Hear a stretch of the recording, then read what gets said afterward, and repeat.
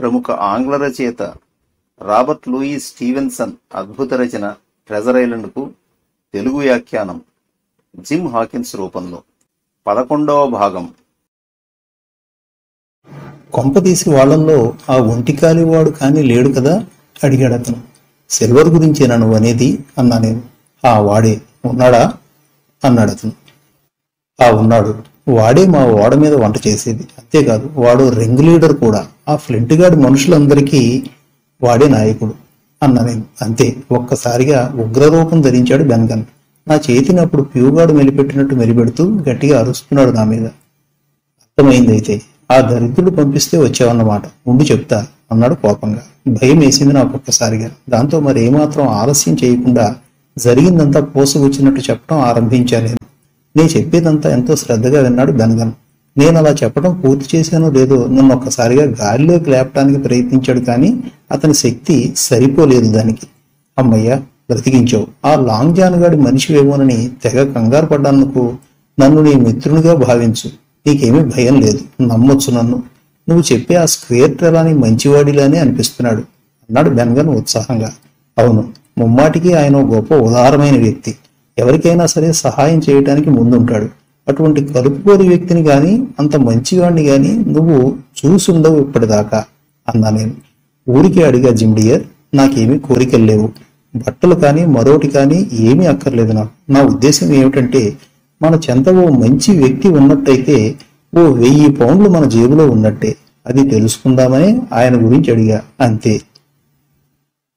అన్నాడు అతను. అలా ఏమీ కాదు. నేను వివరించిన దానికంటే ఎన్నో రెట్లు సహాయకారి ఆయన ఓ పెద్ద భూస్వామి. తన ప్రక్కనున్న వాళ్ళ సంతోషమే తన సంతోషంగా భావించే వ్యక్తి మంచి పలుకుబడి కూడా ఉన్నవాడు. ఒక్క ముక్కలో చెప్పాలంటే బోళాశంకరుడు తన వద్ద ఉన్నది అందరికీ పంచే స్వభావం ఆయనది అన్నా నేను అయితే నాకు హిస్పానియోలాలో చోటు కల్పిస్తాడా తెలుగు ప్రయాణంలో? అడిగాడు అతను. సందేహమా? స్క్వేర్ చాలా మంచివాడని ఇంతకు ముందే చెప్పాగా. తప్పక నీకు అవకాశం ఇస్తాడు. అంతేకాక తిరుగు ప్రయాణంలో నీ అవసరం కూడా ఉంటుంది మాకు. అనుభవజ్ఞుడైన మరో నావికుని అవసరం ఉంది మాకు. కాబట్టి నిశ్చింతగా ఉండొచ్చు నువ్వు అన్నా నేను. థ్యాంక్స్. అయితే నాకు ఈ దీవి నుంచి విముక్తి కలగబోతోందన్నమాట. అంటాడు సంతోషంతో ఉబ్బి తబ్బిబ్బవుతూ అతన్ని చూస్తే యావజ్జీవ కారాగార శిక్ష నుంచి విడుదల కాబోతున్న ఓ ఖైదీలా అనిపిస్తోంది నాకు. గొప్ప కళ వచ్చింది అతని ముఖంలో. మెలమెల మెరిసిపోతున్నాయి అతని కళ్ళు. అతను ఏదో చెప్పటానికి ఉద్యుక్తుడవుతున్నట్టు తెలుస్తోంది అతని వాలకం చూస్తుంటే. చూడు జిమ్ నీ వంతు అయ్యింది చెప్పటం. నా గురించి కూడా తెలియాలి కదా నీకు శ్రద్ధగా విను. ఎంతవరకు అవసరమో అంతే చెబుతా. ఎక్కువగా విసిగించను నిన్ను. తను ఆ నిధిని ఈ దీవిలో పాతి పెట్టేటప్పుడు నేను ఆ ఫ్లింట్ గాడితోనే ఉన్నా. అతనితో పాటు మరో ఆరుగురు వస్తాదులు లాంటి నావికులు ఆ నిధిని పాతి పెట్టడానికి దీవి మీదికి వెడితే మేము మాత్రం షిప్ మీదనే ఉన్నాం అన్నాడు. మేమందరము విశేష సముద్ర అనుభవం ఉన్న నావికులమే. మేము అప్పుడు ప్రయాణం చేసిన షిప్ పేరు వాల్రస్. అదంటే కెప్టెన్ ఫ్లింట్కు మహామక్కువ వాళ్ళు వెళ్ళేటప్పుడు ఏడుగురు వెళ్ళినప్పటికీ తిరిగి వచ్చేటప్పుడు మాత్రం ఒక ఫ్లింటే కనిపించాడు. బాగా పీక్కుపోయి ఉంది అతని ముఖం అప్పుడు. బాగా అలిసిపోయినట్టుగా కూడా కనిపించాడు. చిన్న పడవలో ఒక్కడే వచ్చాడు వెనక్కి. మిగిలిన వాళ్ళంతా చచ్చిపోయినట్టు అర్థం కావటానికి ఆటే సమయం పట్టలేదు మాకు. కెప్టెన్ క్లింటే చంపేసినట్టు అర్థమైంది మాకు. ఒక్కడే అంతమందిని ఎలా చంపగలిగాడన్నది ఎంతగా బొర్రలు బద్దలు కొట్టుకున్నా అంతు పట్టలేదు మాకు. ఆ ఆరుగురు కూడా అఖండులే. ఏదైతేనే ఒక్కడు ఆ ఆరుగురిని మట్టు పెట్టాడన్నది మాత్రం పచ్చి నిజం. ఎవరు నమ్మినా ఎవరు నమ్మకపోయినా నాతో పాటు ఉన్న నా సహచరుల్లో బిల్లీ బోన్స్ లాంగ్ జాన్ సిల్వర్లు మాత్రం ధైర్యం చేసి అడిగారు అతన్ని. విషయం ఏమిటని? ఏం చేశావు నిధిని కెప్టెన్? బిల్లీ బోన్స్ అన్నాడు. మిగిలిన వాళ్ళు రాలేదేంటి నీతో పాటు కెప్టెన్ ఫ్లింట్? ఆదుర్దాగా అడిగాడు లాంగ్ జాన్. ఆ అయితే వెళ్ళండి. వెళ్ళి వాటి గురించి స్వయంగా మీరే తెలుసుకోండి. నేను చెప్పేదేమిటి? ఎంచక్క అక్కడే ఉండిపోవచ్చు కావాలంటే. అని గుర్తుంచుకోండి. వాల్రస్ మాత్రం తన దారిని అది వెళ్ళిపోతుంది. ఎవరి కోసం ఆగవలసిన అవసరం లేదు దానికి. గుర్తుంచుకోండి అందరూ. ఆ అన్నాడు ఫ్లింట్ కటువుగా. అంతే అందరి నోళ్ళు మూతపడ్డాయి వెంటనే. ఆపై నోరెత్తలేదు మరెవరు. ఆ తరువాత సరిగ్గా మూడేళ్ళకు మరో షిప్పులో ఈ దీవికి వచ్చా నేను. నాతో పాటు దాంట్లో ప్రయాణం చేస్తున్న నా సహచరులతో ఆ నిధి తాలూకు విషయం గుర్తు చేశా. బాయ్స్ ఎంత నిధి దాచింది ఇక్కడే. ఈ దీవి మీదే. తెలుసా? దిగి దాన్ని వెతికే ఆసక్తి ఉందే ఎవరికైనా? అన్నా నేను. నా మాటలు ఓడ కెప్టెన్కు రుచించలేదు కానీ నా సహచరులకు మాత్రం నచ్చాయి. దాంతో మేమందరం ఒకే మాట మీద కాలు పెట్టాం దీవిపై దాదాపు పన్నెండు దినాల పాటు దీవి అంతా అంగుళం అంగుళం గాలించినప్పటికీ నిధి తాలూకు ఆనవాళ్ళు మాత్రం కనిపించలేదు. రోజు రోజుకి వాళ్ళల్లో అసహనం పెరిగిపోసాగింది. నన్ను సూటిపోటి మాటలతో వేధించేవాళ్ళు రోజు. ఓపిక నశించింది అందరికీ. నేను అబద్ధం చెబుతున్నాననే నిర్ణయానికి వచ్చిన వాళ్ళు ఓడ ఎక్కేశారు. అంతా మూకుమ్మడిగా తిరగబడ్డారు నా మీద. ఇదిగో మిస్టర్ బెంజమిన్ గన్ జాగ్రత్తగా వినమేం చెప్పేది. ఈ గన్ నీ వద్దనే ఉంచుకో పనికొస్తుంది. అలాగే ఈ పార గొడ్డలి కూడా నీకే. అక్కడికి వస్తాయి ఉంచుకో చక్కగా. ఇక్కడే ఈ దీవి మీదే ఉండు. ఆ నిధి నీ చేతికి చిక్కేదాకా. దాన్నంతా నువ్వు ఒక్కడివే అనుభవించు. మాకు ఒక్క పౌండ్ కూడా అక్కర్లేదు సరేనా? బై బై అంటూ నన్ను ఈ దీవి మీదే వదిలేసి వాళ్ళ దారిన వాళ్ళు వెళ్ళిపోయారు. వాళ్ళు నా కనుమరుగయ్యే వరకు వేడుకుంటూనే ఉన్నా. వాళ్ళెవరికి జాలి కలగలేదు నాపై. ఆ విధంగా నన్ను మరూన్ చేసేశారు అని భారంగా నిట్టూర్చాడు బెన్గన్ ఎలా స్పందించాలో తెలియక మౌనంగా ఉండిపోయి అతని వైపే చూస్తూ మళ్ళీ తనే మాట్లాడసాగాడు. మూడేళ్ళు జిమ్ మూడేళ్ళుగా ఇక్కడే ఒంటరిగా దిక్కు మొక్కు లేకుండా ఇలాగే బ్రతుకుతున్నా. చూడు నన్ను ఒకసారి అసలు మనిషిలా ఉన్నానా నేను? చెప్పు అన్నాడు దీనంగా. నేనేమి మాట్లాడకపోయేసరికి నా చేతిని గట్టిగా నొక్కుతూ మళ్ళీ తనే మొదలుపెట్టాడు. దయచేసి స్క్వేర్తో చెప్పు జిమ్ నా గురించి అని కాసేపు ఆగి తిరిగి చెప్పసాగాడు అతను ఎన్ని బాధలు పడ్డానో తెలుసా జిమ్? ఈ మూడేళ్ళు నరకం. నరకం అనుభవించాననుకో ఎండ లేదు వాన లేదు పగలు లేదు చీకటి లేదు. అప్పుడప్పుడు దైవ ప్రార్థన చేసేవాడిని అమ్మను తలుచుకుంటూ. అయినా దుఃఖం ఆగేది కాదు. నీకెందుకు చెబుతున్నాననుకున్నావు ఇవన్నీ? స్క్వేర్కు చెబుతావని తెలిసిందా? బెన్ చాలా మంచివాడని చెప్పు చాలు. మిగిలింది నేను చూసుకుంటా అని తిరిగి ఏదో చెప్పబోయేలోపు నేను కలిగించుకున్నా. సరే సరే. మంచిది. నువ్వు చెప్పింది ఒక్క ముక్క కూడా అర్థం కాలేదు నాకు. అయినప్పటికీ నేనంటూ తిరిగి హిస్పానియోలా మీదకి వెళ్ళగలగాలి కదా. ఎలా వెళ్ళాలో తెలియక నేచొస్తుంటే నీ సంగతి నాకేం తెలుస్తుంది చెప్పు అన్నా నేను. నేనేం చెప్పదలిచానో బాగా అర్థమైనట్టుంది అతనికి. ఓడ మీదికి వెళ్ళటానికి నేను పడుతున్న ఆదుత గ్రహించినట్టే కనపడ్డాడు అతను. జిమ్ అర్థమైంది నీ ఆందోళన దేనికోసమో. ఇంతకాలం నేను పడ్డ బాధే నువ్వు ఇప్పుడు అనుభవిస్తున్నావు. కానీ నీ ప్రక్కన ఈ బెన్గన్ ఉన్నాడన్న సంగతి మర్చిపోకు. నీవు ఆశించినట్టు హిస్పానియోలా దగ్గరికి వెళ్ళగలిగే ఉపాయం చెబుతా విను. స్వయంగా నా రెండు చేతులతో ఇదిగో ఈ రెండు చేతులతో తయారు చేసిన ఓ చిన్న పడవ ఉంది నా వద్ద. నిరభ్యంతరంగా వాడుకోవచ్చు దాన్ని నువ్వు. హాయిగా వెళ్ళొచ్చు నీ ఓడ వద్దకు. కానీ ఇప్పుడు కాదు బాగా చీకటి పడ్డాకే శ్రేయస్కరం. ఆ దరిద్రుల కంట పడకుండా జాగ్రత్తగా వెళ్ళాలి. లేనట్టయితే మొదటికే మోసం వస్తుంది అంటున్న బెన్గన్ అదిరిపడ్డాడు ఒక్కసారిగా ప్రక్కనే ఏదో పిడుగు పడ్డట్టు. అతనే కాదు నేను కూడా భయపడ్డా అప్పుడు. నిజంగానే పిడుగు కానీ పడలేదు కదా అన్న సందేహం వచ్చిన మాట మాత్రం నిజం. ఆ ధ్వనులు వచ్చిన వైపు చూశాం ఇద్దరం. మా అనుమానాలను బలపరుస్తున్నట్టుగా పిడుగు కాదు కానీ ఎరంగుల మోతలు వినిపించసాగాయి. ఇరు వర్గాలకు మధ్య యుద్ధం మొదలై ఉంటుందన్న సంకేతాలు వస్తున్నాయి. మొదలెట్టేసినట్టున్నారు వాళ్ళు అని గట్టిగా అరిచా నేను. భయపడకు నా వెనకే రా.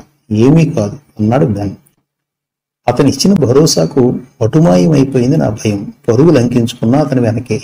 అతనికి ఈ దీవి కొట్టిన పిండి కావటంతో బుల్లెట్ వేగంతో పరుగులు తీస్తున్నాడు. సుడిగాలే అనుకోవాలి.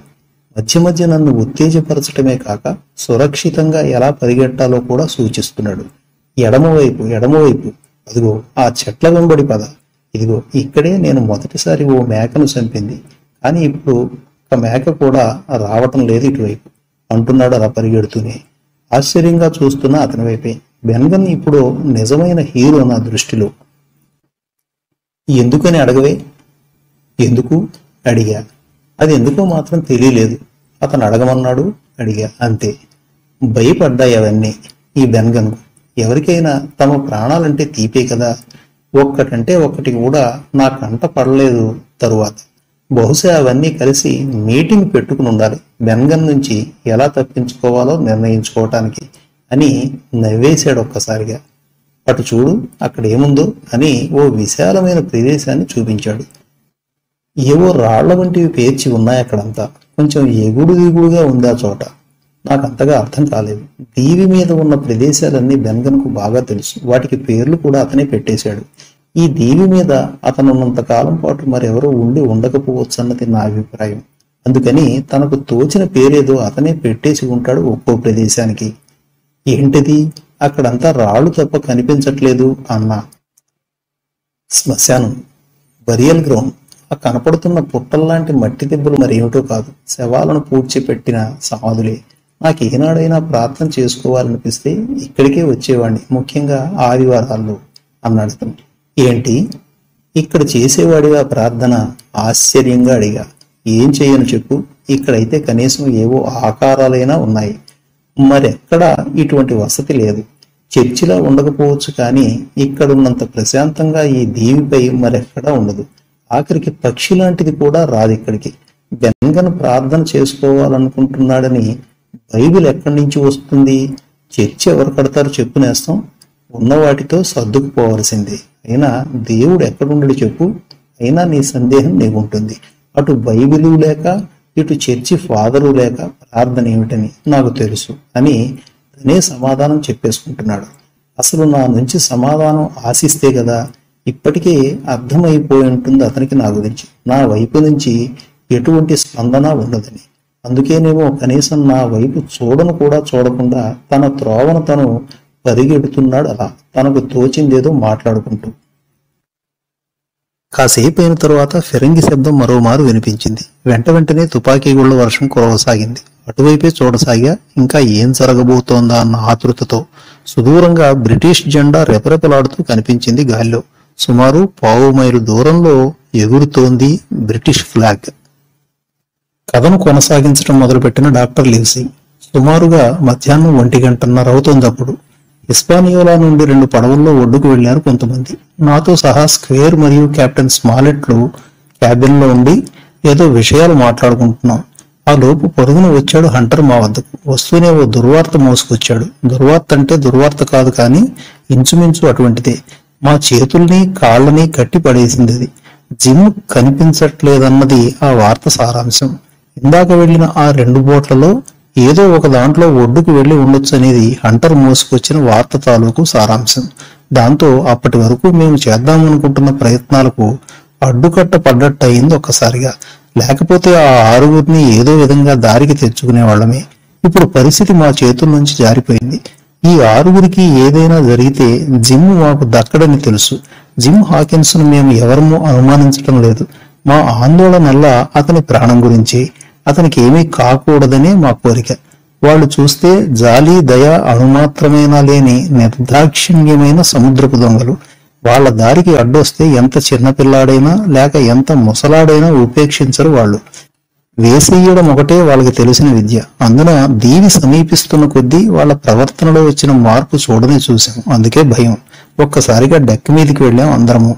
మిగిలిన ఆ ఆరుగురు వెధవలు ఒక తెరచాప కింద కూర్చుని ఏదో వాగుతున్నారు పిచ్చి పిచ్చిగా. భయంకరమైన దుర్గంధంతో ముక్కు పుటాలు బద్దలైపోతున్నట్టుంది అక్కడ వాతావరణం. మరి కాసేపు అక్కడే ఉండేట్టయితే అటు డీసెంట్రీయో ఇటు జ్వరమో వచ్చేలా ఉంది. అంత దారుణంగా ఉంది లంగరు వేసిన చోటు. ఓడ మీద మిగిలిన సిల్వర్ గ్రూపుకు చెందిన నికృష్టులు ఆరుగురు అక్కడే ఓ తెరచాప కింద ఏడుస్తున్నారు. దూరంగా ఆ రెండు పడవలు ఒకదానితో మరొకటి పోటీ పడుతూ ఒడ్డును చేరుకునే ప్రయత్నం చేస్తున్నాయి. ఒడ్డును సమీపిస్తున్న ఆనందంలో ఒక పడవలోని వాడెవడో లిల్లీ బులెరో అనే ఉత్తేజపూరిత గేయాన్ని అందుకున్నాడు. అతనితో పాటే మిగిలిన వాళ్ళంతా ఆ పాటను అందుకుని హడావిడి చేస్తున్నారు. జిమ్ హాకిన్స్ వాళ్ళ దగ్గర ఉన్నంత వరకు మరేమీ చేయటం కుదరదు కాబట్టి హంటర్తో పాటు నేను కూడా ఒడ్డుకు వెళ్ళటానికి నిర్ణయించుకున్నా. హిస్పానియోలాలో ఉన్న ఓ చిన్ని జాలీ బోట్లో బయలుదేరటానికి నిశ్చయించుకున్నాం. దేవికి సంబంధించిన చార్టులో సూచించబడ్డ కర్ర దొంగలతో తయారు చేయబడ్డట్టు అనిపిస్తున్న ఓ పాక లాంటి దాని వైపుగా బయలుదేరాం ఇద్దరం. ఇంతకు ముందు బయలుదేరిన రెండు పడవల్లోని జనం పడవలు దిగిపోయి ఒడ్డుకు చేరుకుంటున్నట్టుంది అప్పటికే. ఇద్దరు మటుకు ఆ రెండు పడవలకు కాపలా ఉన్నట్టున్నారు. అప్పటి వరకు లిల్లీ గీతాన్ని దగ్గరగా ఆలపిస్తున్న వారిద్దరి నోళ్ళు మూతపడ్డాయి మా ఇద్దరిని చూసిన వెంటనే. వాళ్ళకేదో అనుమానం వచ్చినట్టు అనిపిస్తోంది నాకు. ఏమి చేయాలో తెలియక తెకమకపోతున్నట్టుంది వాళ్ళ వాలకం చూస్తుంటే. వారి పడవలకు మా బోటుకు ఆటే దూరం లేకపోవడంతో ఎక్కడేం జరుగుతోందో మా ఇరుపక్షాలకు కొట్టొచ్చినట్టు కనిపిస్తోంది. వాళ్ళే కనుక వెంటనే వెళ్ళి సిల్వర్ చెవిలో మా రాక గురించి వేసినట్టయితే పరిణామాలు ఎలా ఉండేవో యథమిద్ధంగా చెప్పలేకపోవచ్చు కానీ అలా మాత్రం జరగలేదు. తిరిగి వాళ్ళు లిల్లీ బులెరో గీతాన్ని అందుకుని పాడేస్తున్నారు ఇంతకు ముందులాగా బహుశా నే భయపడ్డట్టుగా వాళ్ళు మా రాక కొంత ప్రాధాన్యం ఇచ్చినట్టుగా లేదు. ఉన్నట్టుండి మేము వెళ్ళే దారి మలుపు తిరగటంతో ఆ రెండు పడవలు మా కళ్ళకు కనిపించకుండా పోయాయి ఒకసారిగా. ఇప్పుడు వాళ్ళు మాకు మేము వాళ్ళకి కనిపించే ప్రసక్తే లేదు. నేను కూడా ఉద్దేశపూర్వకంగానే ఆ మలుపును ఆశ్రయించవలసి వచ్చింది. ఒడ్డు సమీపించటంతో రెండు చేతుల్లో ఒక్కో పిస్టల్ పట్టుకుని ఒడ్డుకు చేరా. ఓ వంద గజాలు అలా నడిచానో లేదో కర్రల దడి కనిపించింది. అదో కర్రల దడితో కూడి బలమైన దొంగలతో పటిష్టంగా వేసిన ఓ పాకలా ఉంది. బాగా ఎత్తైన గుట్ట మీద ఉన్నప్పటికీ ఓ మంచి నీటి కయ్య ఒకటి కనిపిస్తోంది అక్కడ. దాంట్లో ఉన్న నీరు చాలా స్వచ్ఛంగా ఉంది. రుచి ఎలా ఉంటుందో త్రాగి గాని చెప్పలేం. ఆ నీటి కయ్య చుట్టూ బలమైన దొంగలతో చేసిన ఓ లాగ్ హౌస్ అది. ఓ నలభై మంది దాకా తలదాచుకునే వీలుంది అందులో. ముఖ్యంగా తమ ఆచూకీ బయటి వారికి తెలియకుండా లోపలి నుండి బయటి వారి జాడ తెలుసుకునే వీలుండటంతో ఇటువంటి లాగ్ హౌస్లను యుద్ధాలకు ఉపయోగిస్తూ ఉంటారు. బయట ఎంతమంది ఉన్నప్పటికీ గట్టిగా ఎదుర్కోవచ్చు లోపల ఉన్నవాళ్ళు. లాగ్ హౌస్ చుట్టూ విశాలమైన ఖాళీ స్థలం ఉంది. ఆ విధమైన ఆరు బయలుకు సుమారు ఆరు నుండి ఏడు అడుగుల ఎత్తున నిర్మించారు ఆ లాగ్ హౌస్ని చిత్రంగా ఆ ఇంటికి తలుపులు కిటికీలు ఏవీ లేవు. దొంగల మధ్యలో మాత్రం కొద్దిగా ఖాళీ ఉంది. దాన్ని కోల్చడం అంత సులభం కాదు. బయట ఉన్న వాళ్ళను చాలా స్పష్టంగా చూసే వీలుంది లోపల ఉన్న వారికని ఇప్పటికే అనుకున్నాం కదా. తగిన తుపాకీలు వాటికి అవసరమైన గుళ్ళు ఉంటే సునాయాసంగా ఎదుర్కోవచ్చు ఎంతమందినైనా ఎంత వారినైనా. కాకపోతే కొంచెం అప్రమత్తంగా ఉండాలి లోపల ఉన్నవాళ్ళు వారికి కావలసినంత ఆహార పదార్థాలు కూడా ఉంటే ఇంతకన్నా సురక్షితమైన చోటు మరొకటి ఉండదనాలి. చూడబోతే ఏదో ఒక రెజిమెంట్ కొరకు నిర్మించబడ్డట్టు అనిపిస్తోంది అది. అన్నిటికన్నా నన్ను అమితంగా ఆకర్షించింది ఆ నీటి సరస్సే. ఎస్పానియోలా మీద ఈ స్ప్రింగ్ తప్ప మిగిలినవన్నీ ఉన్నాయి. ఇక్కడ అది కూడా ఉండటంతో ఆ కొరత కూడా తీరినట్టు అనిపిస్తోంది. నేను అలా ఆలోచిస్తుండగానే దీవి మీద అతి సమీప దూరం నుంచి ఓ గావు కేక వినిపించింది. మొదట్లో గావు కేకలా అనిపించినప్పటికీ తరువాత అదో చావు కేక అని నిర్ధారణ అయ్యింది.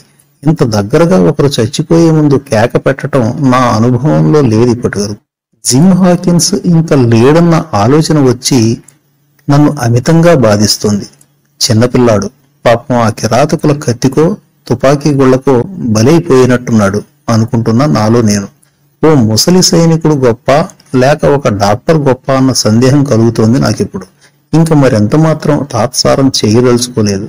ఒక్క అంగలో ఒడ్డునున్న పడవ దగ్గరికి చేరుకున్నాను అంతర్ మాత్రం అక్కడే ఆ పడవ మీదే కూర్చునున్నాడు కులాసాగా. అమాంతం పడవలోకి దూకినంత పని చేసిన నేను వెంటనే బయలుదేరవలసినదిగా ఆజ్ఞాపించి అతన్ని. అంటర్ కూడా నా అంతరార్థాన్ని గ్రహించినట్టున్నాడు. పడవని వాయువేగంతో పోనివ్వటంతో క్షణాల్లోనే హిస్పానియోలా చేరుకున్నాం. హిస్పానియోలాపై ఉన్న వాళ్ళందరూ తీవ్ర ఆందోళనకు గురైనట్టు స్పష్టంగా తెలుస్తోంది. వాళ్ళు వీళ్ళు అన్న తేడా లేకుండా అందరూ గజగజ వణికిపోతున్నారు భయంతో. స్క్వేర్ మాత్రం ధీమాగానే ఉన్నాడనిపిస్తోంది. అతనితో పాటు ఆ ఆరుగురిలో మరో వ్యక్తి కూడా ఏమీ జరగనట్టే ఉన్నాడు. కెప్టెన్ స్మాలెట్ నాకు దగ్గరగా వచ్చాడు ఏదో చెప్పటానికి. డాక్టర్ ఇందాకటి ఆ చావు కేకకు ఈ దరిద్రుల్లో ఒకడు సుమారుగా మోర్చపోయినంత పని చేశాడు. మరో కేక గాని అటువంటిది వింటే మన జట్టులోకి వచ్చేస్తాడు. వాడికి చావంటే అంత భయంలా ఉంది అని తనలో తనే ఓ రకమైన విజయ గర్వంతో నవ్వుకుంటున్నాడు. అతని అభిప్రాయానికి గాని స్పందనకు గాని నేను ఏమాత్రం విలువనివ్వటం లేదు. ఆ సమయంలో అటువంటి వాటి మీద ఎవరికైనా దృష్టి ఎలా పోతుంది? నేను ఆ సమయంలో ఏమని ఆలోచిస్తున్నానో కెప్టెన్కు సవివరంగా చెప్పాను. తన ప్రణాళికను అమలుపరిచే దానిపై కూడా ఓ ఏకాభిప్రాయానికి వచ్చాం ఇద్దరం. మా క్యాబిన్కు ఆ ఆరుగురు ఉన్న గ్యాలరీకి అడ్డంగా రెడ్ రూతును కాపలా పెట్టి అతనికి అందుబాటులో ఓ మూడు నాలుగు తుపాకీలను అవసరమైనన్ని తుపాకీ ఉంచాలని నిర్ణయించాం. మేము వెళ్ళవలసిన పడవను హిస్పానియోలా మెట్ల సమీపానికి తెచ్చి నిలిపాం. మరి ఏమాత్రం ఆలస్యం చేయకుండా మేము మోసుకుపోదామనుకున్న మరియు మాకు అవసరమైన సామగ్రిని ఆ పడవలోకి చేర్చడం మొదలుపెట్టాం. నేను నాతో పాటు జాయిస్. కొన్ని బస్తాల బిస్కెట్లు పోర్కుతో నింపిన మరికొన్ని పెట్టెలు గన్ పౌడర్ బస్తాలు నా మందుల పెట్టె అవసరమైనన్ని తుపాకీలు వాటితో పాటు కొన్ని బస్తాల తుపాకీ గుళ్ళు వైను బ్రాందీ రమ్ములతో కూడిన పెట్టెలు మొదలైన ఉన్నాయి. మేము మోసే వాటిలో. మేము అలా వాటిని చేరవేసే సమయంలో స్క్వేర్ మరియు కెప్టెన్లు డెక్ మీదనే ఉండి పరిస్థితుల్ని నియంత్రించే పనిలో ఉన్నారు. కెప్టెన్ అక్కడే ఉన్న తన అసిస్టెంట్ హ్యాండ్స్తో ఏదో చెప్పడానికి ప్రయత్నిస్తున్నాడు. కెప్టెన్ తరువాత అతనే నాయకుడు. మిస్టర్ హ్యాండ్స్ జాగ్రత్తగా విను. మా ఇద్దరి చేతుల్లో చెరో రెండు తుపాకీలు ఉన్నాయి. అవి నాలుగు పూర్తిగా లోడ్ చేసి ఉన్నాయన్న సంగతి వేరే చెప్పనక్కర్లేదనుకుంటా. ఎవరైనా కదిలే ప్రయత్నం చేస్తే అలా చేసిన మొదటివాడు మరిక ఉండడు కబడ్దార్ అన్నాడు స్మాలెట్. హ్యాండ్స్తో పాటు మిగిలిన వాళ్ళందరూ ఉలిక్కి పడ్డారా ఊహించని పరిణామానికి. ఒక విధమైన జంకు స్పష్టంగా కనిపిస్తోంది వాళ్ళలో. వాళ్ళల్లో వాళ్ళు కాసేపు ఏవో సంప్రదింపులు జరుపుకుని డెక్ క్రింది భాగానికి వెళ్ళిపోన ఆరంభించారు అలా వెళుతున్నారే కాని ఏదో ఎత్తు వేసి మమ్మల్ని ఢీకొట్టే ప్రయత్నంలో ఉన్నారేమోనన్న అనుమానం వచ్చింది నాకు కెప్టెన్కు వాళ్ళ దారికి అడ్డంగా తుపాకులు ధరించిన రెడ్ రూత్ కనపడేసరికి వాళ్ళు ఏ పిచ్చి ప్రయత్నం చేయకుండా బుద్ధిగా క్రిందికి వెళ్ళటానికే నిర్ణయించుకున్నారు. తిన్నగా వెళ్ళండి క్రిందికి. పిచ్చి వేషాలు వేసే వ్యర్థ ప్రయత్నాలు మానుకోండి. మరోసారి హెచ్చరిస్తున్నా. ఓంకరించాడు కెప్టెన్ స్మాలెట్. దాంతో వాళ్ళంతా అక్కడ నుంచి మాయమైపోయారు క్షణాల్లో. వాళ్ళు చాలా భయంతో ఉన్నట్టు స్పష్టంగా తెలుస్తోంది. ఇంతకు ముందే ఓ మనిషి పెట్టిన చావు కేక వాళ్ళ చెవుల్లో ఇంకా మారు ఉన్నట్టు అనిపిస్తోంది ఎంతవరకు పడుతుందో అంతవరకు సర్దేశాం ఆ జాలీ బోట్లో. ఇంకేమాత్రం సరుకులు వేసినా ఆ బోటు మునిగిపోవటం ఖాయమనిపించి క్షణం ఆలస్యం చేయకుండా బోటులోకి దూకి ఒడ్డుకు బయలుదేరాం నేను రెడ్ రూత్. ఇంతకు ముందు ఎంత స్పీడ్గా అయితే వచ్చామో అంతకన్నా వేగంగా వెడుతున్నాం ఇప్పుడు.